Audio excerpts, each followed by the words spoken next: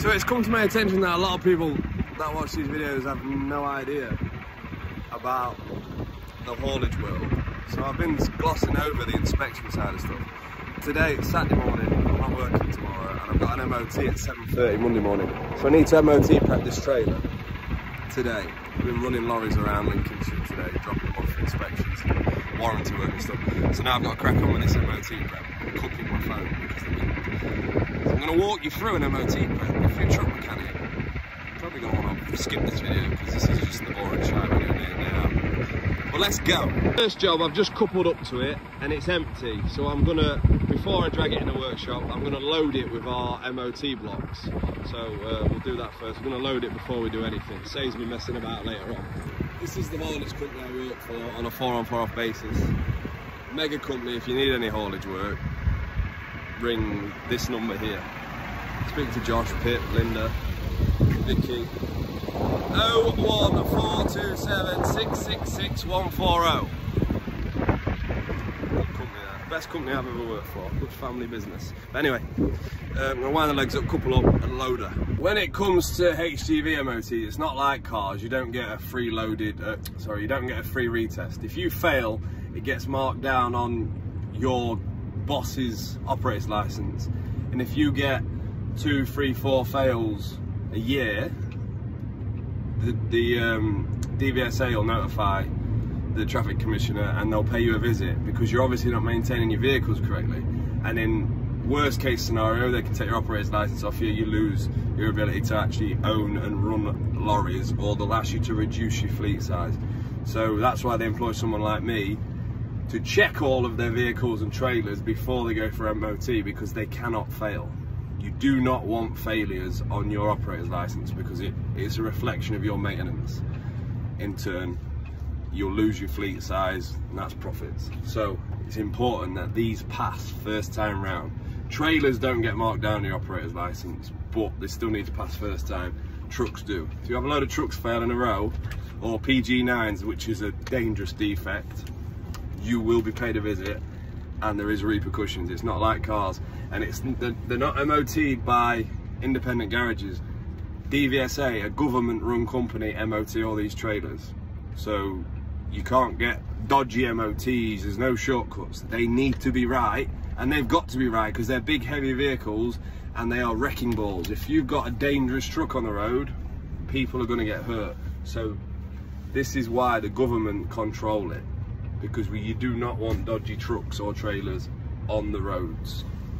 Give you an idea of the type, the size of the fleet we look after. There's me and one other mechanic. When I'm not here, he's here. He's called Dale.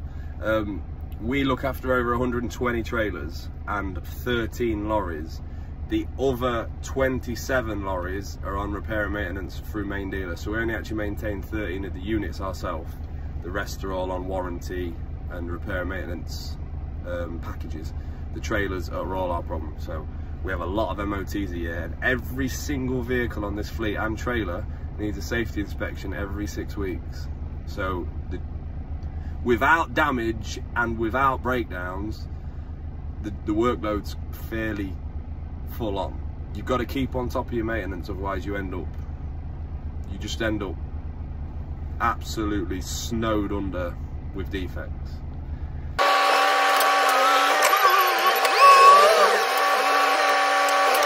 Just put the teleporter back and on my way back through the workshop. I'm just setting up the brake tester um, so when I back it in, I'm going to brake test it. I'm just going to do a couple of laps around the yard, get the linings warm, brake test it, and then crack on with the inspection.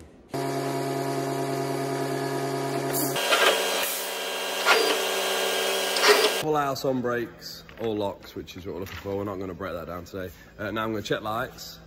I'm going to run through this double quick. So we're looking for two forward facing white side lights, one forward facing white reflector, which is missing, so that needs addressing. Conspicuously tape from front to back, a marker light within three meters of the front, one within every three meters, and then one within a meter of the rear with a built-in reflector or a separate reflector. And at the back, we need rear red reflective tape or um, think you're allowed yellow, can't remember. Anyway, keep it short and sweet. Red reflective tape across the width of the back of the trailer, triangle reflectors, outline marker lamps. Obviously, never overlook the number plate lamp. My apprentice never checks them no matter how many times I tell him. And then obviously rear under run needs to complete and secure and then marker lights all the way down the side the same. All the lights and conspicuous markers on this are spot on other than that front reflector. Uh, now we get the little tapping hammer. You might wonder what these are for. These are for checking for loose bolts. I'm going to run down the hot, run around the whole top side of the trailer, look for anything loose, make sure side guard planks are complete and secure, it's got leading edges, the wings aren't damaged, and the anti-spray conforms with the measurements. We're not going to go into detail today because I've got to squeeze all this into 10 minutes. So just to give you an idea what I'll do with this hammer, I'm going to check the whole top of the trailer. You learn the noise noises, so I know that nut's tight. If I find a loose one, I'll show you, but a loose nut sounds different, and it's just a way of speeding the process up without using a socket on every bolt on this trailer, because that'd just take hours when you've got fleet this size. You've got to run through them quick, and it's just a way mechanics of learn to speed the process up. So I'm going to run around the trailer and check every nut and bolt, all the wings, anti-sprays, bumper bars, reflectors, chains, buckles, looking for anything that shouldn't be there or should be there and rectify it.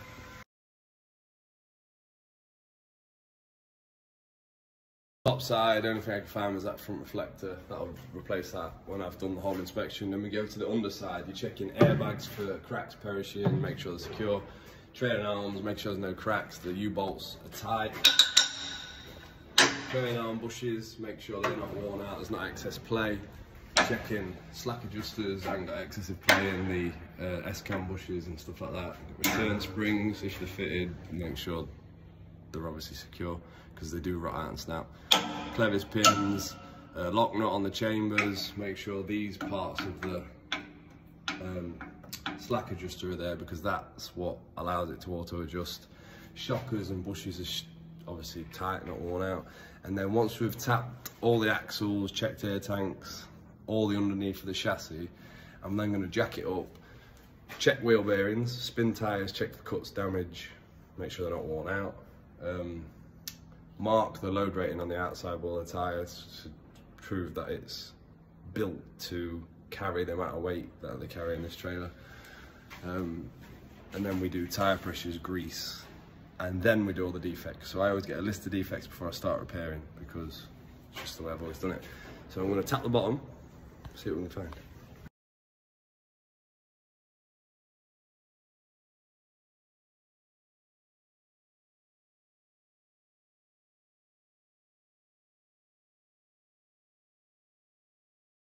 all the bottom and just uh, just to help you out if you are starting, these SDCs, I've, I've inspected this exact setup thousands of times. Common things to look for. These spring eyes crack, uh, trailing arm eyes crack, so watch out for that. The plastic level valves they fit, these ports crack. So these plastic bits crack.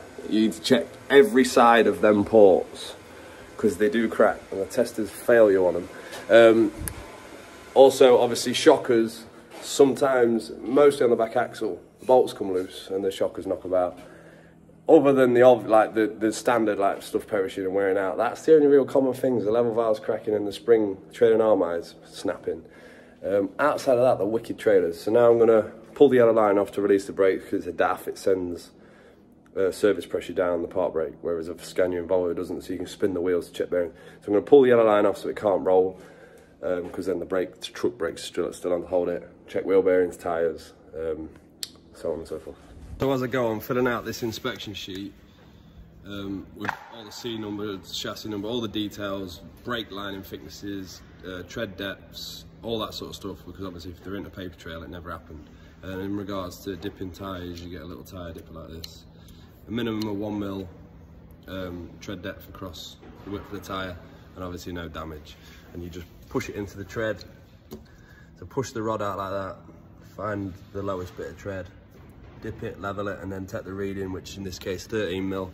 Um, record that on your service sheet, and then you're looking for the load rating on the tyre wall, which in this case is 160k. The K is the speed rating, I believe, but um, that tells you what the tyres load it's capable of carrying. 160k is plenty enough for this 8 ton axle. So um, I'll mark them up with this yellow crayon, just basically to show the tester I've checked it.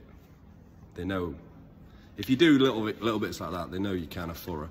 um, and then record everything as you go because then when you get to the end you haven't forgot a few defects, you've written down as you've gone. I can't remember where I got to with this video because I had a few jobs pop up in the middle. But um, I've tapped top, tap bottom. I'm doing the uh, wheel bearings and checking tyres now. And what I'm looking for, obviously, is plain wheel bearings at any play and damaged tyres because obviously the, these tyres have a large footprint. It's a super single, they're known as. So jack the axle up so it's just off the floor and you spin in the tyres and looking for any cuts because it's such a wide footprint. They do get cut quite often, quite a lot. So you spin them, you check for any cuts within the tread, uh, even in the gaps, make sure there's no cuts, bolts, anything stuck in them. You're also checking the inside tyre wall for damage or blebs. Same on the outside. I did the outside when I tapped the top. Um, but yeah, we're checking for any damage. In this case, this tyre is good. And then you run around the top and you check wheel bearings. So you put a bar underneath and check for play and you pull top and bottom, just like you would a car. And that's what you do for all, all six wheels. Um, and that's that bit done. I saw the inspection done, so now all I've got to do is tyre pressures, put 130 PSI in each tyre on these trailers and then I grease all the S-cam bushes, but I never grease the slackers because all that achieves is popping the boot off the adjuster and it makes a mess. It's pointless. The grease don't get out of them, so there's no point in greasing them every six weeks because it just makes a mess. So grease the slack adjuster, grease the S-cam bushes, not the slackers, 130 PSI in the tyre pressures and then steam clean, replace that reflector, job done.